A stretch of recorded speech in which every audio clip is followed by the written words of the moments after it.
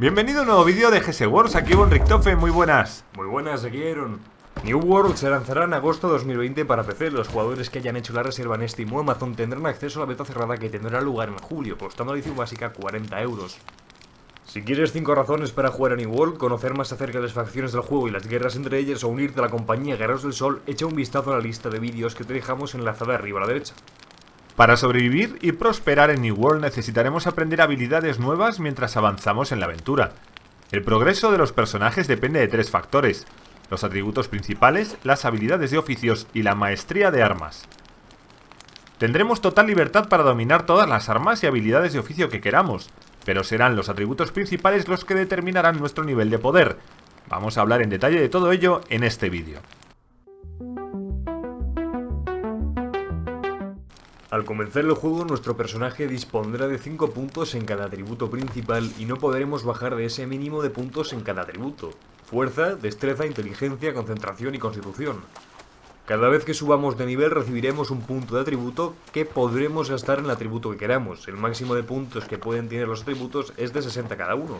Pero podemos superar este límite con la ayuda de baratijas, de las que hablamos en nuestro anterior vídeo. Si en algún momento queremos modificar esta asignación de puntos, podremos hacerlo pagando una pequeña cantidad de monedas. Al principio del juego, estas reasignaciones son gratuitas para que podamos experimentar sin coste. Veamos algo más acerca de cada uno de estos cinco atributos principales.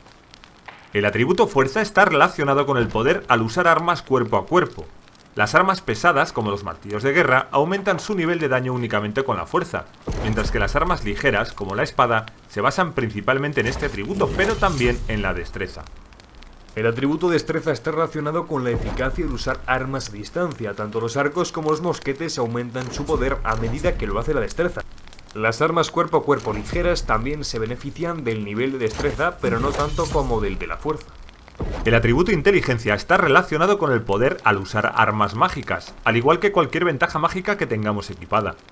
Tanto las armas puramente mágicas, como el báculo ígneo, como las armas físicas con mejoras mágicas, como una espada ígnea, aumentan su poder en función de este atributo de inteligencia. El atributo concentración está relacionado con el índice de recuperación de mana y con la recarga de las habilidades. Contar con un nivel mayor de concentración no solo implicará que podremos utilizar hechizos con más frecuencia, sino que también podremos usar más veces las habilidades que necesiten un tiempo de recarga. El atributo constitución está relacionado con los puntos de salud totales. Cuanto mayor sea la constitución, más daño podremos resistir antes de morir. Las habilidades de oficio están compuestas de diversas destrezas no relacionadas con el combate. Existen cuatro habilidades de recolección, cinco habilidades de refinado y siete habilidades de artesanía. Las cuatro habilidades de recolección son minería, desuello, tala y cosecha. Al subir de nivel una habilidad de recolección podremos desbloquear la posibilidad de reunir recursos diferentes y de mayor nivel. Los mineros recolectan piedra y minerales, los peleteros pieles de animales, los leñadores madera y los recolectores fibras, frutas y verduras. A medida que aumente nuestra pericia de recolección, también podremos detectar recursos valiosos en las inmediaciones y encontrar otros recursos especiales que sirvan para modificar objetos mediante artesanía. Las cinco habilidades de refinado son fundición, cantería, carpintería, curado e hilado. Al subir de nivel una habilidad de refinado podremos desbloquear la posibilidad de refinar recursos de mayor nivel y obtener materiales de artesanía superiores. Los fundidores convierten el mineral en lingotes. Los canteros convierten la piedra en bloques y tallan gemas. Los carpinteros convierten la madera en tablones. Los curtidores convierten el cuero crudo en cuero y los tejedores las fibras en tela. A medida que aumenta la pericia de refinado, también aumenta la eficiencia con los recursos, es decir, que los refinadores de mayor nivel tendrán la posibilidad de conseguir recursos refinados adicionales. Las siete habilidades de artesanía son forja de armas, forja de armaduras, joyería, ingeniería, artes arcanas, cocina y fabricación de muebles.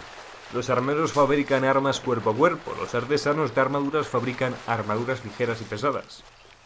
Los joyeros fabrican baratijas, los ingenieros fabrican armas a distancia y munición, los arcanistas fabrican pociones, tinturas y armas mágicas, los cocineros preparan comidas y bebidas, los fabricantes de muebles fabrican muebles, elementos de almacenaje y trofeos para las casas.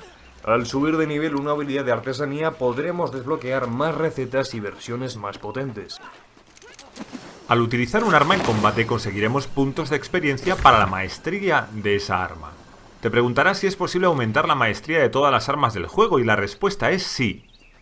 Cada maestría dispone de dos árboles de habilidad, dentro de los cuales encontraremos una selección de habilidades activas, modificadores pasivos y bonificaciones exclusivas de esa arma.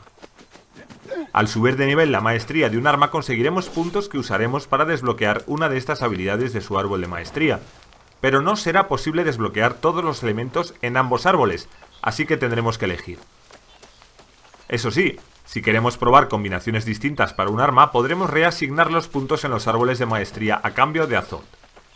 En el ejemplo que estamos viendo, las hachas pueden mejorarse en el árbol Berserker y en el de lanzamiento.